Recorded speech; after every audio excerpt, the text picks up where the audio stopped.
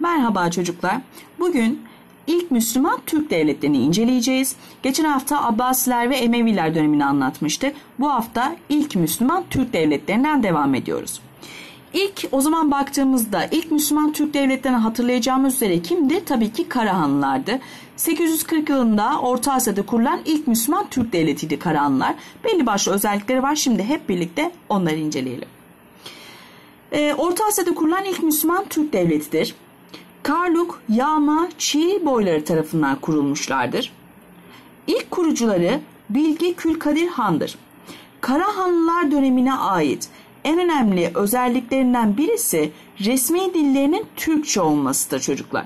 Yani bakacak olursak e, bundan önceki dönemlere baktığımızda e, resmi dilleri genellikle Arapçaydı ya da Farsça gibi birçok e, diller kullanmaktaydılar ilk Türk devletleri. Ondan sonrasına baktığımızda ilk defa resmi dilini Türkçe yapan devlet kimmiş? İlk Müslüman Türk devleti olan Karahanlılardır. Saltuk Burhan döneminde İslamiyet'i kabul etmişlerdir. Evet en başta zaten söylemiştik. Orta Asya'da kurulan ilk e, Müslüman Türk devletiydi. Saltuk Burhan döneminde ise İslamiyet'i kabul ederek ne yapmışlardı? Aslında Müslümanlığı biraz daha yayma fırsatı elde etmişlerdi. Müslümanlığı benimsemişlerdi ve İslamiyet'i kabul etmişlerdi.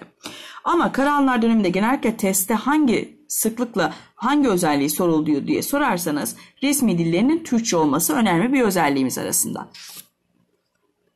Devam edelim.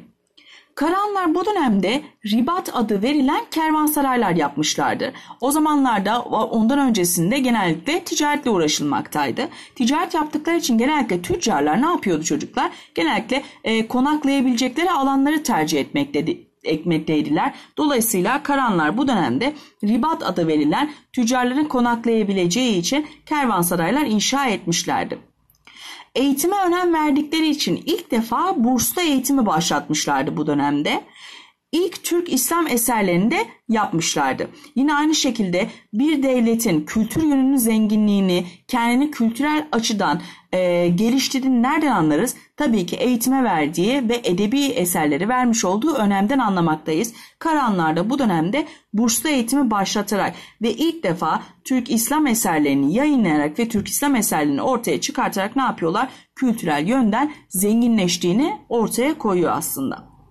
İlerleyen zamanlarda her devlet gibi taht mücadeleleri sonucunda devlet yıkılma aşamasına giriyor çocuklar. Karahanlar yine aynı şekilde doğu batı şeklinde ikiye ayrılıp yıkılma aşamasına giriyorlar taht mücadelesi yaşayarak. Şimdi önemli bir notumuz var. Orta Asya'da İslamiyet'i kabul eden ilk Türk devleti Karahanlılardır. Bu genellikle teste çıkan e, sorularımız arasında ilk defa Orta Asya'da İslamiyet'i kabul eden ilk Türk devleti Karahanlılardır.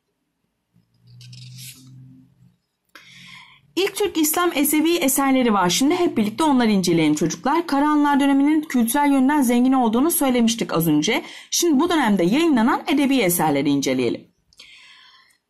Karahanlar döneminde Yusuf Has Hacip, Kaşgarlı Mahmut, Ahmet Yesevi gibi önemli bilginler ve yazarlar ilk Türk İslam eserlerini yazmışlardır. Bu eserler önemli edebi eserleri de oluşturmaktadır. Tekrar edelim. Yusuf Has Hacip, Kaşgarlı Mahmut, Ahmet Yesevi gibi önemli bilginler Türk İslam eserlerini yazıyorlar ve ne yapıyorlar aslında? İlk defa e, bu dönemde Karahanlar döneminde edebi eserlerini ortaya çıkarmış oluyorlar. Şimdi bunları inceleyelim.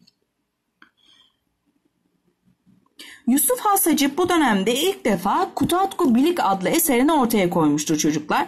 Kutatku Bilik'in tanım anlamı ne demekti? Mutluluk veren bilgi anlamına gelmekteydi. Felsefik, e, felsefik bir kitap olarak da adlandırılabilir. Bu dönemde insanların nasıl mutlu olması, e, neler yapması gerektiğini Yusuf Hasacık tarafından Kutatku Bilik adlı eserinde ortaya koymuştu aslında.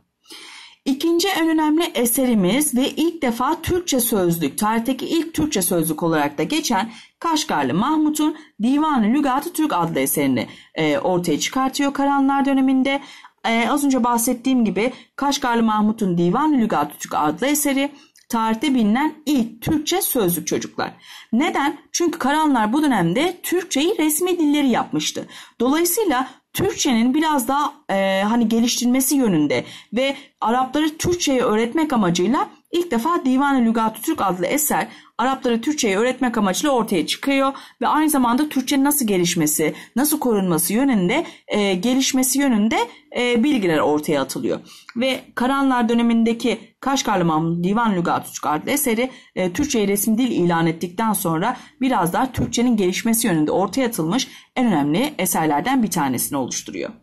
Son olarak Ahmet Yesevi'nin Divanı Hikmet'ini örnek olarak verebiliriz. Bu dönemde yazılmış önemli eserler bunu oluşturuyor çocuklar. Yani Karahanlar döneminde Türkçe resmi dil ilan ettikleri ve kültürel anlamda, eğitim anlamında kendilerini bir o kadar geliştirdikleri aklımızda kalması lazım. Geçtik Gazneliler dönemine. Gazneliler Karahanların yıkılmasının ardından Gazneli Devleti kurulmuştur. Gazneliler kim tarafından kurulmuştu? Alptigin tarafından Gazne şehrinde kurulmuşlardı. Gazeli Mahmut önemli hükümdarlarını oluşturmaktaydı. Bunu unutmuyoruz. Alptigin tarafından kuruluyor Gazne şehrinde. Ancak Gaznelilerin en önemli hükümdarı Gazeli Mahmut e, olduğu aklımızda kalacak. Devam edelim. Gazeli Mahmut devlete en parlak çağını yaşatmıştır. Hindistan'a 17 sefer düzenleyerek İslamiyet'in Hindistan'a yayılmasını sağlamıştır. Abbas halifesi İslam dünyasına yapmış olduğu hizmetlerden dolayı Gazeli Mahmut'a ne ünvan vermişti? Sultan ünvanını vermiştir.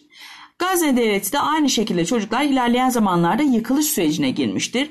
1040 yılında Dandanakan Savaşı'yla yıkılış sürecine girmişlerdir. Dandanakan Savaşı'nı hatırlayalım. Bir sonraki dersimizde Selçukları işleyeceğiz aslında. Ancak Dandanakan Savaşı kimle yapılmıştı? Hatta Gazze'nin yıkılma sürecini oluşturmuştu. Tabii ki Selçuklar ve Gazze'liler arasında yapılan Dandanakan Savaşı neticesinde 1040 yılında e, Gazze'liler yıkılma sürecine girmişlerdi.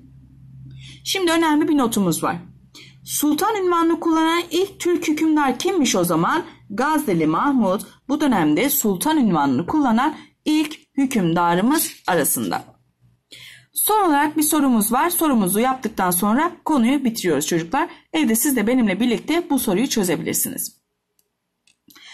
İlk Müslüman Türk devleti olan Karahanlıların resmi dillerinin Türkçe olması ve Karahanlı ilim adamı Kaşgarlı Mahmut'un ansiklopedik Türkçe sözlük olan Divan-ı Lügat Türk yazması onların hangi özelliğini göstermektedir? Yani soruda şundan bahsediyor. İlk Müslüman Türk devleti olan Karahanların diyor resmi dillerinin Türkçe olması ve Karahanlı ilim adamı Kaşgarlı Mahmut'un bu dönemde yazmış olduğu Türkçe sözlük olan Divan-ı Lügat Türk yazması Karahanların hangi özelliğini göstermesidir? Düzenli orduyu kurduklarını. Şimdi çocuklar bir devlet düzenli ordu kuruyorsa bu onların hangi özelliğiyle alakalı? Tabii ki askeri yönleriyle alakalı. O zaman A'yı ne yaptık? Eledik. Arap kültürünün içinde kayboldukları. Şimdi Arap kültürünün içinde kaybolmak ne demek? Bir devletin asimile olması demek. O zaman bakacak olursak Karahanlar Arap kültürünün içinde mi kaybolmuşlar? Tabii ki hayır. Bu ne olacak? Yanlış cevabımız arasında. Aksine Arap kültürünü değil Türk kültür özelliklerini daha çok yansıtıyorlar.